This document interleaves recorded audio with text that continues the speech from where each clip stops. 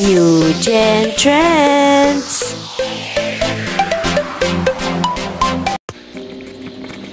Welcome back to my channel. May panibago nga tayong update na kung saan inilabas ito ng isa sa mga nanghuhula at nakakakita ng mga nangyayari di umano kay Jovelyn Gallieno. Ayon nga sa nagngangalang Kyla Gomez, mayroon nga siyang ilalabas na katotohanan patungkol kay Jovelyn Gallieno at ito nga ang kabuuan ng kanyang salaysay. Alam ko at nakikita ko sa card ko at reading na huli kasama at nakausat ni Jovelyn ay si Ace Abian. Ang tanong ko, kung si Ace Abian at Jovelyn ay magkasama hanggang ngayon, palaisipan, sino ang may pakana ng cover-up na ginawa malapit sa lugar at bahay ng Gallieno family kung saan nakita ang buto at kalansay ni Jovelyn, mga gamit, ID, bag, papeles at alahas sa lugar.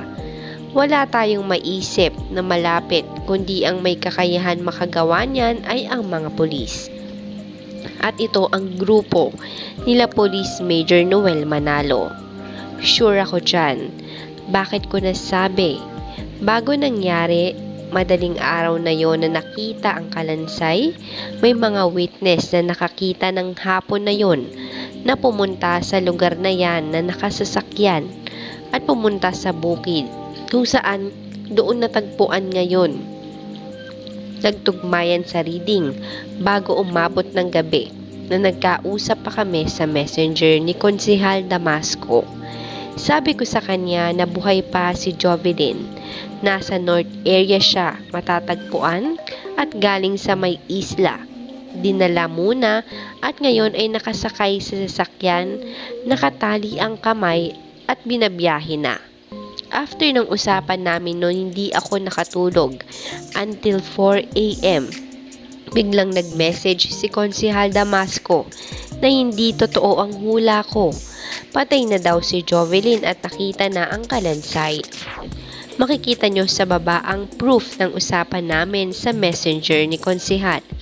Hindi ako makapaniwala dahil hindi yun ang nakikita ko.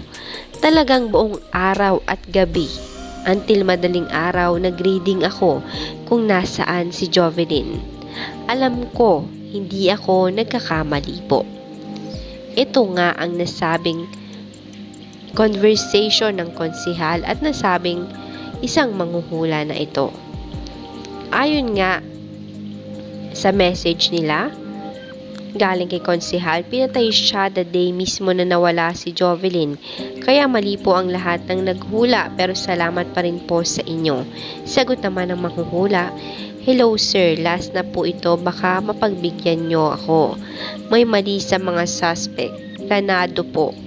Try nga po silang ipalay detector na kayo mismo ang kukuha, hindi ang PNP.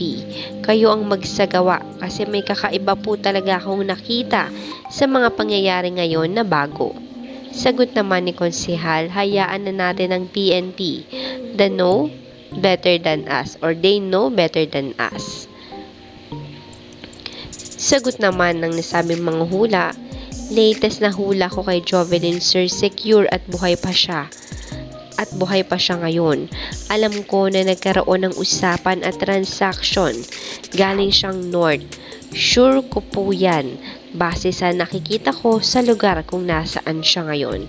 Sagot naman ng konsehal bilang pagtatapos ng kanilang usapan, nakita na ang bangkay ni Jovelyn. Mali ka ata ng hula.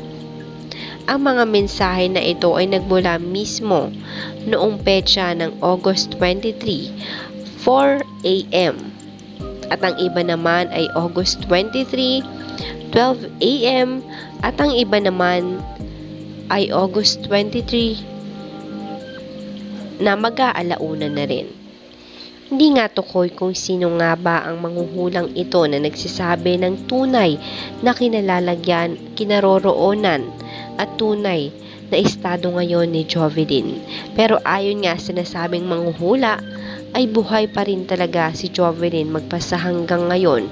At base na rin sa kanyang sinabi ay mukhang talagang makapangyarihan. At may pera nga ang dumukot kay Jovelyn at mukhang balak na itong isama at ilayo sa kanyang pamilya maging sa bansang ito. Samantala bago ko tapusin ang video na ito, ikaw na nanonood ngayon, naniniwala ka rin ba sa sinasabi ng manghuhula na ito na may posibilidad nga na buhay pa talaga si Jovelyn at tinatago lamang ito at gusto na ring ilayo ng taong dumukot sa kanya. Comment down below. That's all for today's vlog. I hope you enjoyed and if you did, please like and subscribe to my channel and turn on the bell button to keep you updated on my new videos. Thanks for watching New Gen Trends!